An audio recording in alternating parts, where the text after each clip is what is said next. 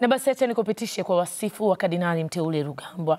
Amezaliwa Mei 31, 1960. Mwaka 1990 alipata daraja la upadri jimbo la Katoliki uh, Rulenge kule Ngara.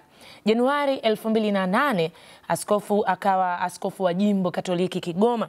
Juni 2012 akawa katibu mwambata wa Baraza la Kipapa la Uinjilishaji wa Watu. Mwaka 2017 akawa katibu mkuu wa Baraza la Kipapa la Uinjilishaji wa Watu. Aprili 13, 2023 akawa askofu mkuu mwandamizi jimbo la Tabora hadi hapo jana ambapo aliteuliwa kuwa kardinali katika kundi la tisa la makardinali chini ya Papa Francis.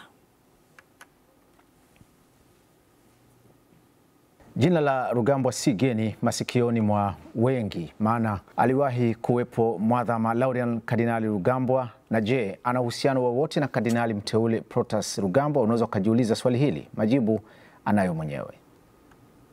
Gelea Kardinali Laurian Rugambwa, yeye ni kardinali wa kwanza Mwafrika ambaye kwa kweli aliwekwa katika ukardinali na Papa Yohani wa 23 mwaka 1960.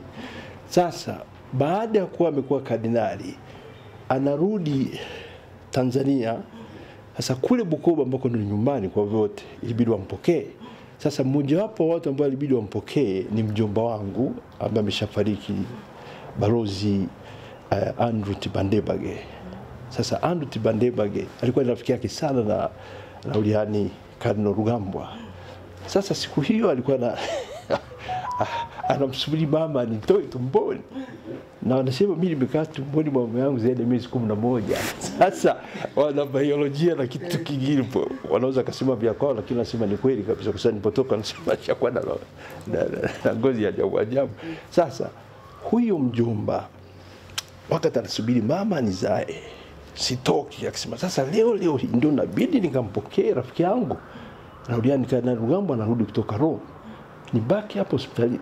Na kabla ya hapo alishamweka mama kwenye gari lake akamwendesha aweze kumtoa mtoto huyo atoke.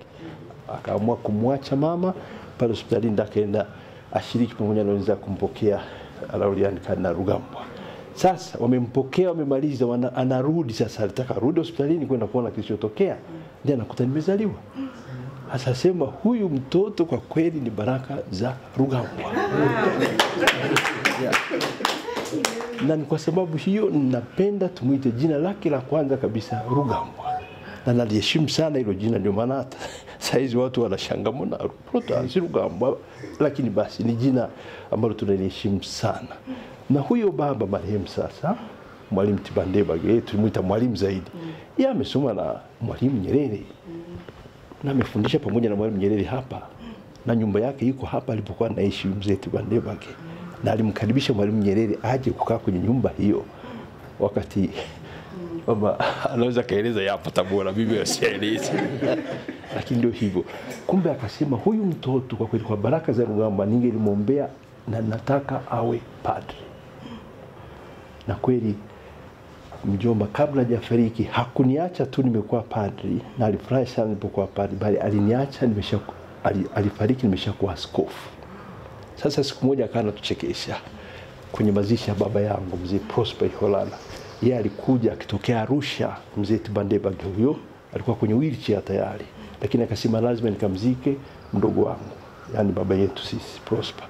Amekuja baada ya mazishi tunamalizia malizia mambo ya matanga, baenda katuita wote ndugu jamaa na marafiki. Basi na mimi alikuwa ananiita mtoto bishop ndio jina lake hilo, mtoto bishop Rugambwa, njoo hapa. Nikakaa pale, lakini kwa nimetokea Roma wakati ule nafanya kazi Roma. Unajua kwa, no, nilikuwa Kigoma, nafikiri nilikuwa Kigoma wakati ule, nilikuwa Kigoma. Una, una, mnajua nyinyi kilichotokea kwa huyu mtoto wangu? Basi ndio akasema hawajui, ndio akawasimulia sasa hiyo historia yote niyoisema, lakini yeye akamalizia akisema huyu mtoto mimi sikutaka awe askofu nilikuwa nimemwombea tu awe padri, lakini basi kanisa limenizidi nguvu, lazima niheshimu, limemfanya askofu. Mimi nafurahi na Mungu tumwombee azidi kumbariki katika yote hayo yanakuja huko mbele. Hayupo leo, angelikuwepo nafikiri baba heshima zote huyu mjomba tungelimpatia yeye. Kifupi ndivyo ilivyokuwa hivyo.